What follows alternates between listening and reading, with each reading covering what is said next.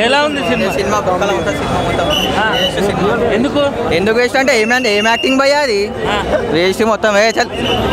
Acting రైటేజ్ acting ఏమని అంటారు చూడు రైటేజ్ యాక్టింగ్ యాక్టింగ్ అది ఇదేనండి సినిమా ఒకటి నచ్చిందంటే అదొకటి ఏంది మొన్న గుడి సినిమా తీసింది కదా? అదొకటి సినిమా తప్ప ఇంకే బాలే అన్న. అన్ని ఫ్లాప్ రేటింగ్ ఎంత? రేటింగా ఆ. కూడా ఇక నేను.